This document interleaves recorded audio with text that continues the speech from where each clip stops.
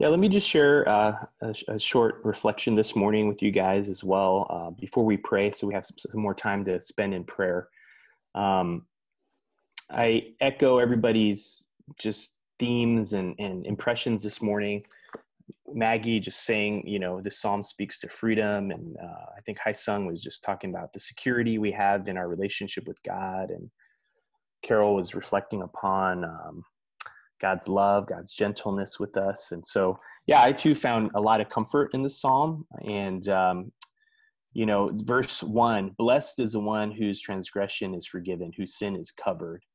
You know, that's that's us. I mean, that is us as New Testament Christians, right? As as post cross Christians. I mean, we are truly forgiven. Our, our sin has been covered uh, completely through the cross. You know, our, our past sin, our present sin, our future sin, it's all been nailed to the cross forever. And so we are the blessed ones. Our, our transgression has been covered. We are forgiven um, completely. And I think a lot of times it's hard to believe that. Um, yeah, I'm forgiven for the sins before I became a Christian, right? We think, uh, and then now I became a Christian, and oh, I still struggle with sin, so therefore I, I'm not completely forgiven. But the reality is, He nailed our sins to the cross once and for all, a final sacrifice. We've been completely forgiven, uh, past, present, future sin. We're covered in His righteousness. Um, reminded of Second Corinthians five twenty one. For our sake, he made him to be sin who knew no sin, so that in him we might become the righteousness of God. And so, you know that that reminder that encouragement that when god looks upon me when he looks upon us he sees jesus you know that we have this boldness we have this confidence uh, to approach our heavenly father every single day regardless of how we feel about ourselves uh, because his righteousness covers us that, that he sees his son jesus when we when we uh, stand before the lord not our sin but the righteousness of christ and so it's that boldness that confidence uh, that we have because of God and his goodness. And uh, verse 2 uh, Blessed is the man against whom the Lord counts no iniquity. And again, he, he doesn't count our sin against us. Uh, he's removed it as far as the east is uh, from the west. He doesn't keep count.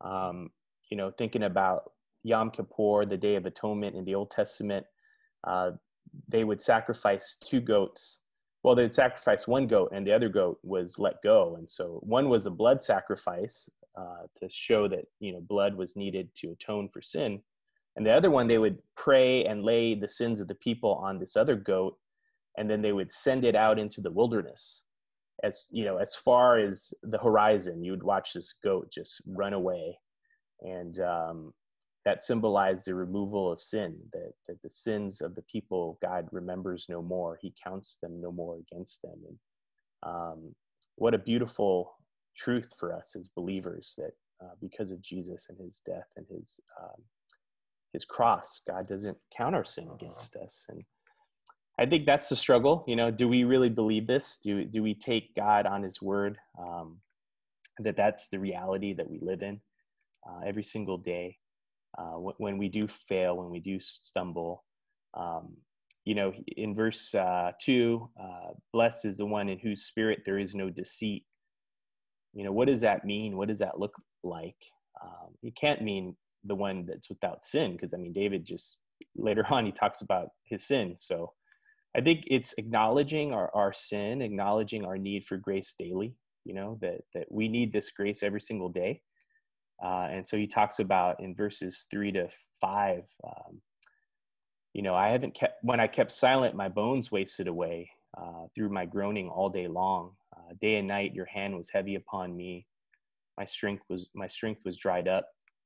It wasn't until verse five, I acknowledged my sin to you, did not cover my iniquity. I, and I said, I will confess my transgressions to the Lord and you forgave my sin, right? You forgave my iniquity. And so, you know, it, it, it's not living as if it's dependent upon our own righteousness. It's living as if I just need to be honest with God, you know, about my need uh, for grace. And He always offers grace. He always offers this this grace and forgiveness. Uh, and then just reminded of this great quote by Tim Keller you know, the gospel is this we are more sinful and flawed in ourselves than we ever dared to believe, yet at the very same time, we are more loved and accepted in Jesus Christ than we ever dared hope. And so it's not by minimizing or denying that, yeah, we, we are, we're still sinners, we still wrestle with sin, but acknowledging that even then, God loves us, even then, God accepts us, um, and His grace is available.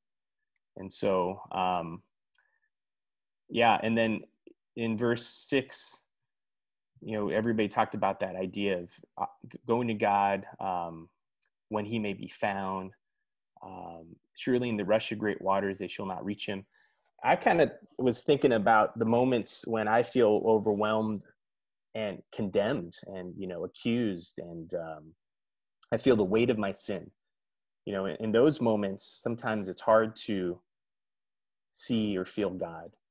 And um, in verse 7 he says you are a hiding place for me you preserve me from trouble and, and, so in those moments i need to remind myself of his grace of his gospel and uh, often just preach the gospel to myself you know in that that hiding place and um, just keep returning to the truths over and over again uh, of who i am in christ and how much i need his grace and so I want to just close by just reading this short little section uh, from Paul Tripp in his devotional. And, um, you know, he, he talks about we all tend to want to think we're more righteous than we really are. Uh, we don't like to think of ourselves as still desperately in need of God's rescuing grace. And we surely don't want to face the fact that we need to be rescued uh, from us, from ourselves. When we argue for our own righteousness, working hard to deny the evidence of our sin, we fail to seek the amazing grace that is our only hope. Grace is only ever attractive to sinners. The riches of God's goodness are only ever sought by the poor. The spiritual healing of the great physician is only esteemed by those who acknowledge they still suffer from the spiritual disease of sin. It's a tragedy when we praise God for his grace on Sunday and deny our need for the grace of God the rest of the week. Face the fact that today you'll never outgrow your need for grace, no matter how much you learn and how much you mature, until you're on the other side of the struggle when sin is no more. The way we begin to celebrate the grace of God so freely gives every day is by admitting how much we need it. And so I want to encourage us that this psalm is a psalm of freedom, as um, as we've talked about, uh, but it comes from acknowledging. It comes from acknowledging how much we need God's grace and uh, that it's it's so freely available. And so, I, you know, that gives me boldness and confidence to approach God uh, this morning uh, with you guys. And so, thank you for sharing your thoughts, and it was an encouragement for me as well.